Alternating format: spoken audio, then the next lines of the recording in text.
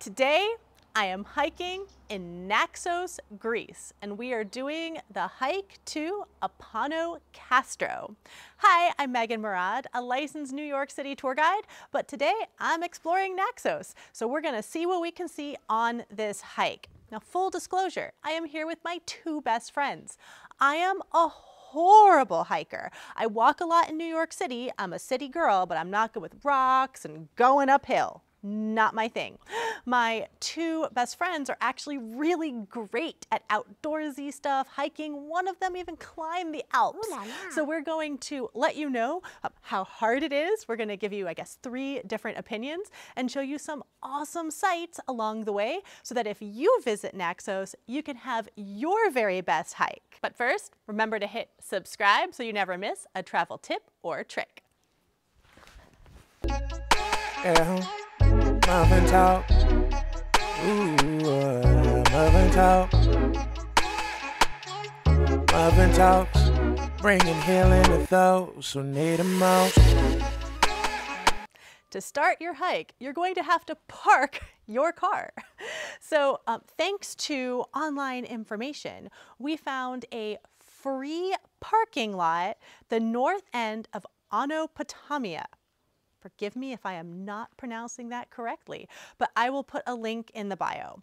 Also, just so you know, um, if you're driving here, first of all, you need to get an international driver's license. I'll put a link in the description um, for how you can do that. But the drive isn't necessarily like easy. There's a lot of really sharp curves on what for my born in Florida, live in New York City self was a little bit scary, but I persevered. Uh, and when you find this parking lot, it's actually quite beautiful. So we've parked our car and now we're going to get started on our walk. This is my friend Kara. She's the one that's actually gone hiking in the Alps. La. and she has long legs, so we're gonna see how well I can keep up with her. Um, she also put out the fact that a lot of times when she's gone hiking in the past, she didn't know if there was parking. Um, maybe I should mention whether or not you can take public transportation. The answer is we don't actually know. We were told to rent a car in Naxos. Um, I would strongly recommend that you do rent a car because almost every place that you want to go outside of like the specific village where you're staying is going to need a car. So we don't actually know the answer to that, but we would actually recommend, even though the roads are like a little bit scary, um, rent a car. Just wanted to point out this sign. So we're going to Apano Kastro, which means upper castle. My little bit of Duolingo was showing me that like the W is an O. So Apano Kastro, the upper castle.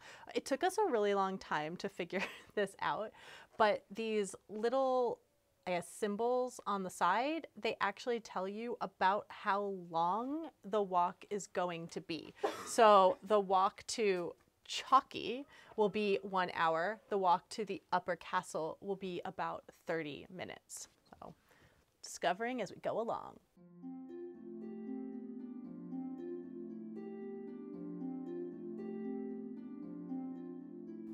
To my Floridian self, this looks mighty steep.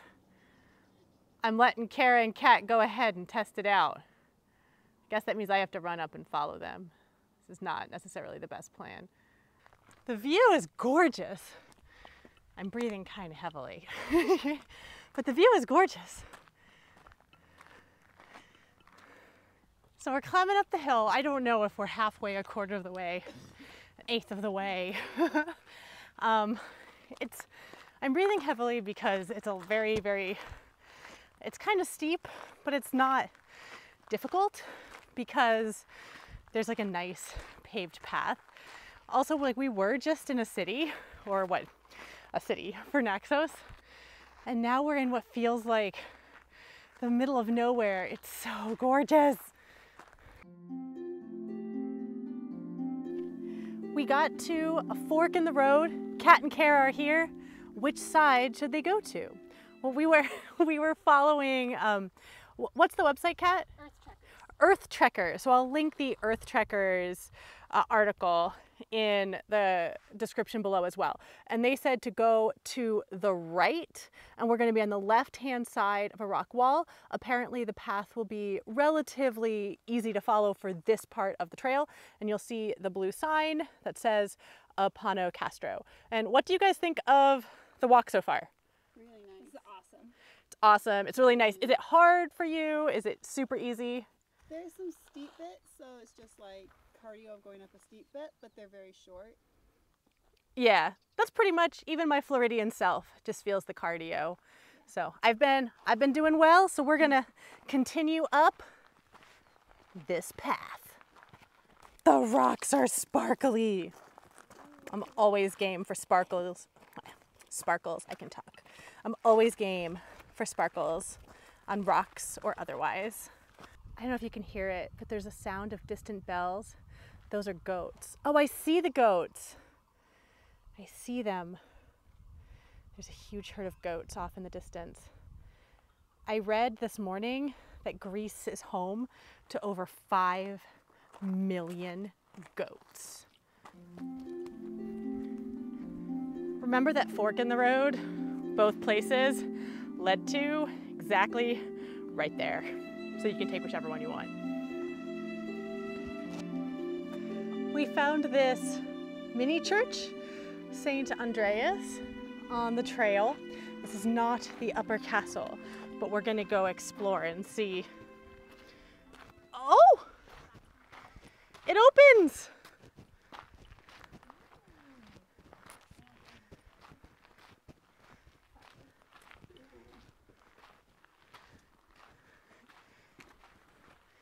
Oh. Whoa. This is really cool. Oh, It's painted. Yeah. wow. Fresco, finally. That's so cool. There's some feet. Whoa. That's where the bats live. Yeah, probably.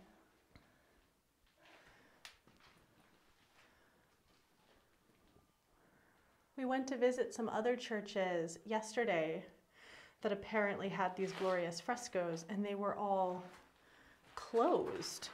So it's really exciting to fall upon Saint Andreas and actually see the frescoes.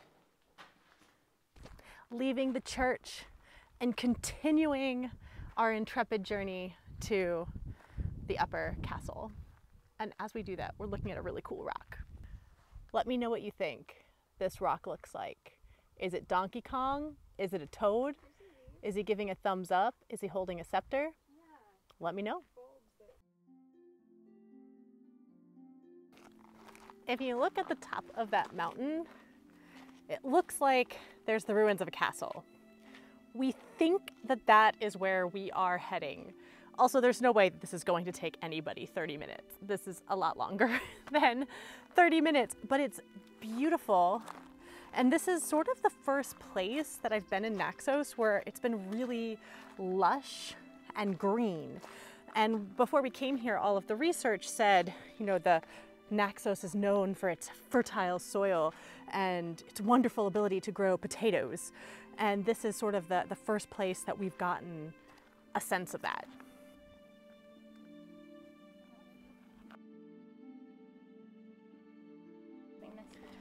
We've approached a gate. Yeah, it just lifts off. We've encountered a lot of these gates on our walks. Oh, I think maybe we want that break in the wall right there. That maybe. Okay, we'll see. I think that these gates are really to keep the sheep and the goats on one side of the gate. And they're pretty open to you opening and closing the gate as long as you make sure that you close it. Um, it was When you're done. That, So we've locked the gate. This area is a little confusing, just so you know. Um, instead of going straight, you go through this little hole in the wall. This is horrible advice. This is wrong advice. We went wrong here. You will see how horribly wrong we went. To find out what we did wrong and how you cannot repeat our mistakes, skip ahead to about 21 minutes into this video.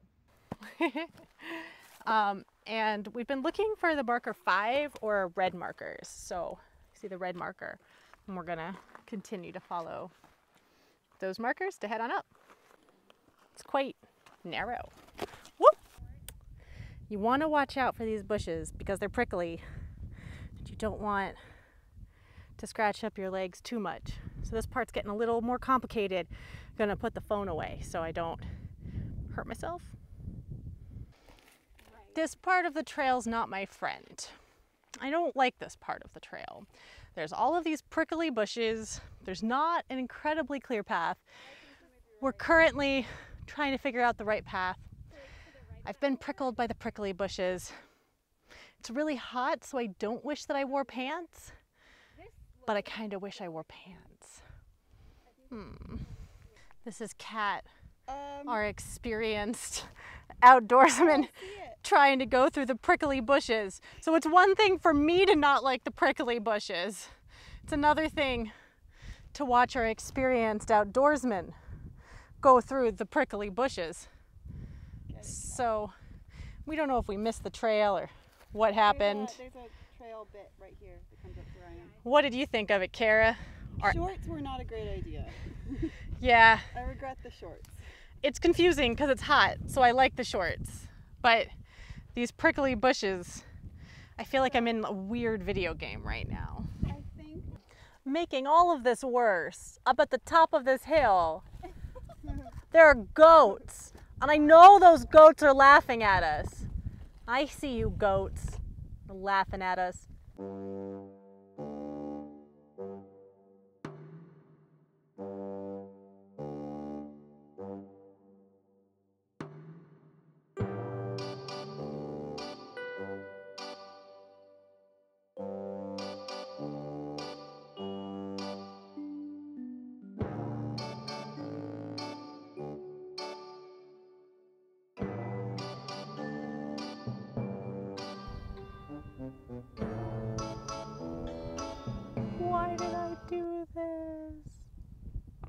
Pretty sure we went the wrong way. If we didn't go the wrong way, the right way is really weird because we just spent 10 minutes climbing through a treacherous, prickly thorn wilderness that feels like it came out of some weird video game or oh. I don't know, like Maleficent's castle. Somehow Kara got way up there. We don't know how she got way up there. She was way below us, like literally when we started this video. And I was like, okay, while we wait, I'll give an update. First part of the climb, super easy, super beautiful. Now I hate my two best friends for making me do this. I've decided I live here now. It's a beautiful view. I don't see a trail to get out. Only way down is to go through the prickly thorn bushes. Just gonna live life here. Yep. Kat's down there, way down, trying to find a trail for us. She's gonna let us know we need to come back down.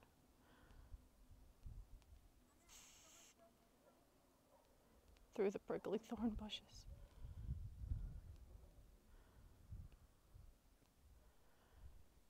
Think Kat found the way. I have to go back down through the prickly thorn bushes. Okay, hopefully we're back on the path. We hope. Who who knows?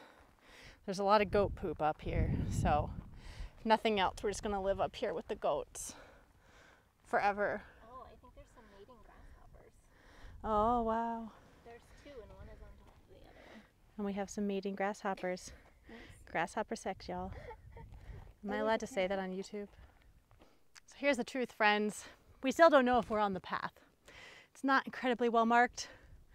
We climbed up some rocks and we found another church. There's Kara at the church. Uh, so we're gonna go, I guess, see if it's open. Oh, let's see if it's open. It's not. We did get to see frescoes of the other one, and the view is beautiful. So that's great. I love beautiful views.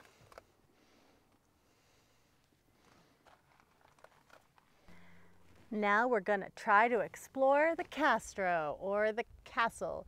I don't know how much of it we're gonna actually be able to get to.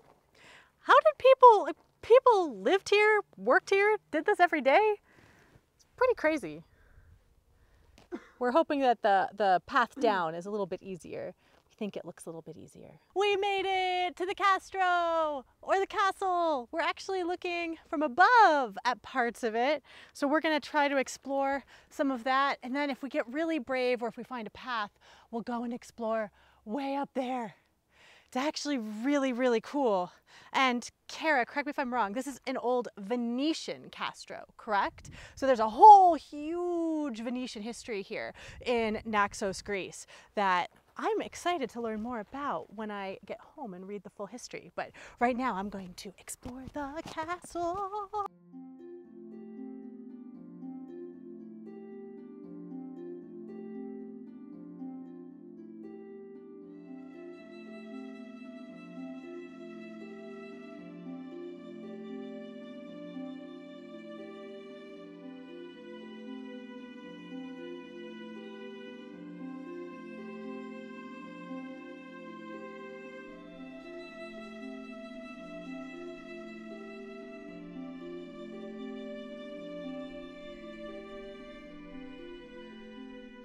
I got very brave and I'm now sitting on the turret overlooking the island. The view is incredible. This is unlike anything that I've ever done before in my life. And yes, the, the path to get here was, was treacherous. Parts were pretty easy and beautiful and parts were very prickly and scary, but this, this is worth it. It's amazing. I mean, when else do you get to look at Venetian ruins and a beautiful mountain range and I can see the ocean as well. It's, ah, it's so magical. And I'm here with my two best friends, which makes it even better. So win all around. Also, shout out to Kat and Kara who have been so patient with me as I'm like, will you video this? They've been awesome. I do want to point out that when you vacation, you should actually allow time to vacation and not just video. So I'm very thankful that they've been so helpful here as we explore the Castro. Just chilling in my ruined Venetian castle. This arch is really cool. It's also, like, it's wonderful for taking photos. It's also wonderful for the history nerd in me. And I'm so happy I'm here. Back on the trail. now we find the red markers, now that we're actually in the Castro. We're getting up to the highest part of the Castro. We're doing it. Yay! It's still not particularly easy of a climb, but we're doing it. We're getting there. And we're waiting to run into those goats. They're goats that were looking down on us earlier. Off in the distance, there are so many goats. They were actually closer. One of them was sitting on this wall right here.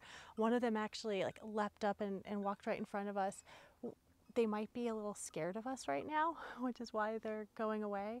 But Florida girl who lives in New York City has never been this close to like a, a wild goat. So this is really The view from up here is absolutely phenomenal.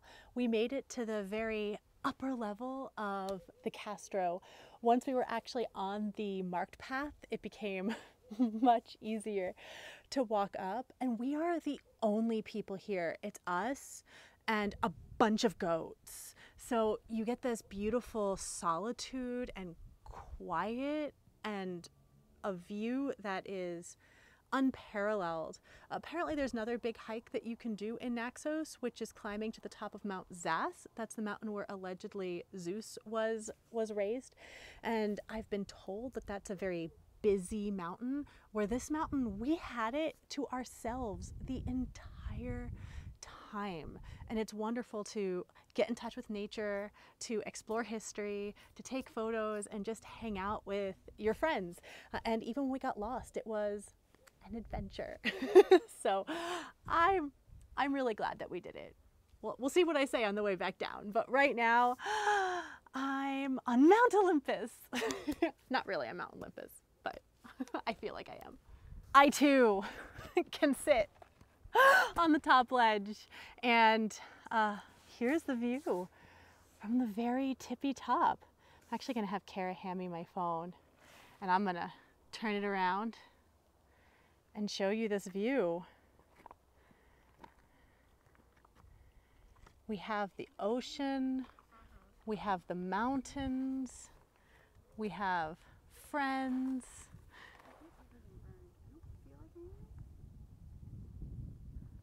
That's, we have the sky.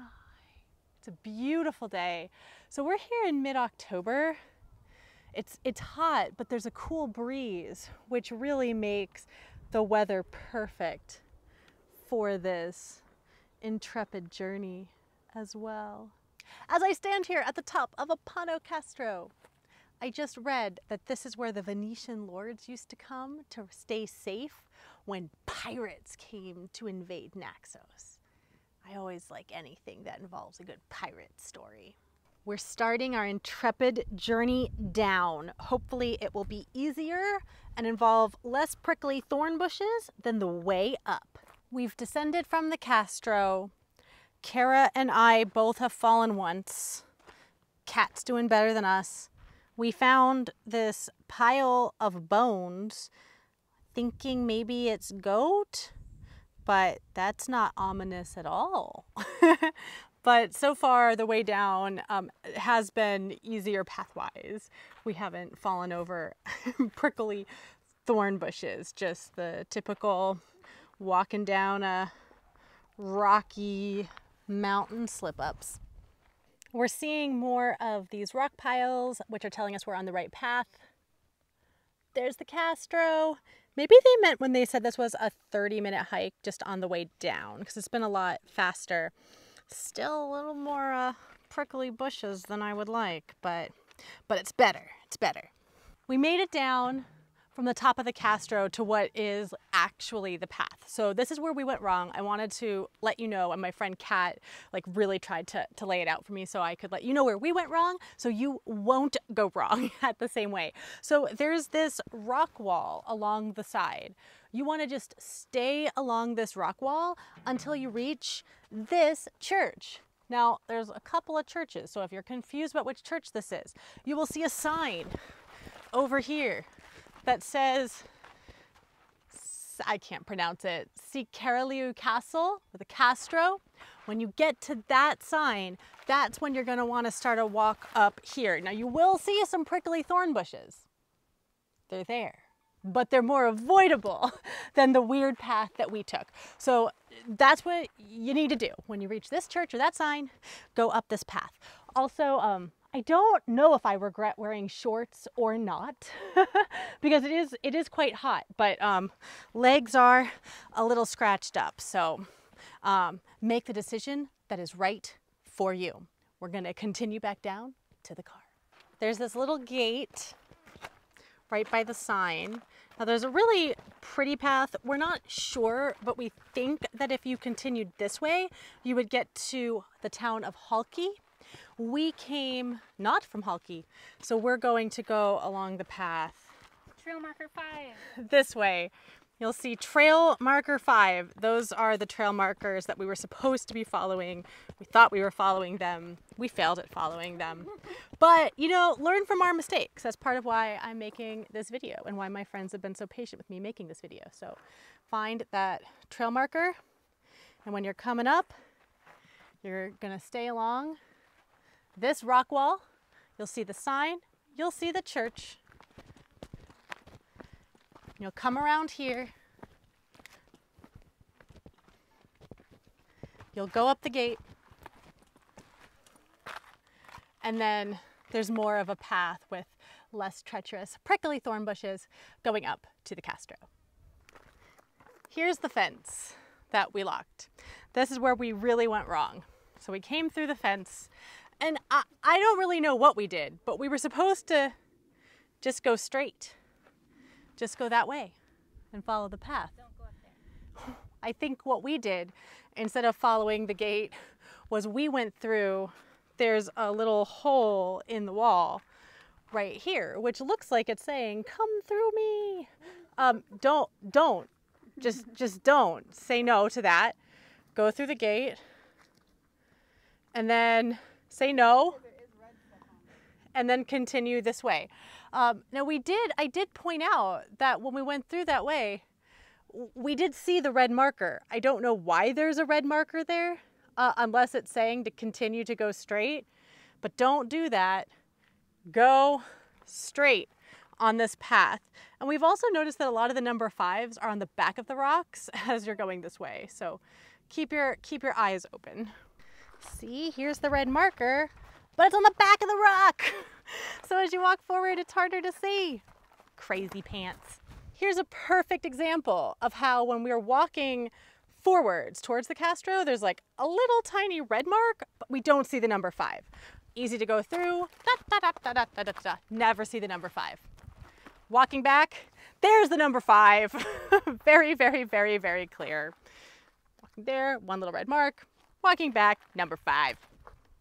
This is literally the first person that we've seen this whole time other than us. And we're almost back at the car. You can see how far away the Castro is from us now. We made it back to the parking lot, back where we parked our car. Uh, just so you know, where we parked is right next to a really cute taverna. It's not open now. I think it's because we're visiting in October and almost everything has been closed. Wah wah. But the beautiful mountain was open. Um, so if you come here another time, it'd be so great to like end your hike at the taverna, have a glass of wine, have some cheese. That would be wonderful. Um, okay, concluding thoughts. I am not much of a hiker. The way up, because we kind of got lost in the path, was really, really treacherous. I should say really, really treacherous, but I was very frustrated by that. But the view was totally worth it. And then on the way down, once we had the right path, it was much, much better. Um, I'm actually going to ask Kara, who's holding the camera, what she thought. Now, she's actually climbed in the Alps. So, what did you think, Kara? I would say it was difficult, um, but I think if we'd stayed on the path, it would have been doable for anyone who's in like relatively good shape. And I'm going to ask Kat, who is my token outdoors person. I'm going to come stand near her so the mic is somewhat near her. What did you think of the hike? Oh, I thought it was glorious. I usually look for hikes that have more of a defined trail, like the whole way.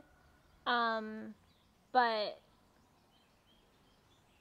I w- if we hadn't been led astray by uh, right after the gate, the hole in the wall that had the marks on it, um, then I think it would have been totally fine. The view from the top is incredible, and I always love a hike that you're entirely alone. So that was a win for me. Yeah. So we were entirely alone. It was beautiful.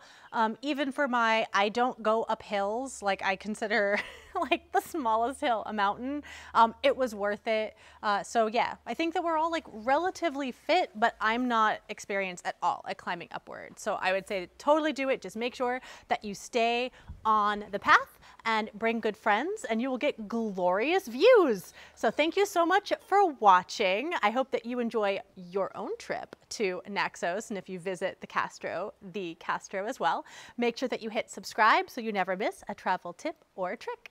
Thanks for watching.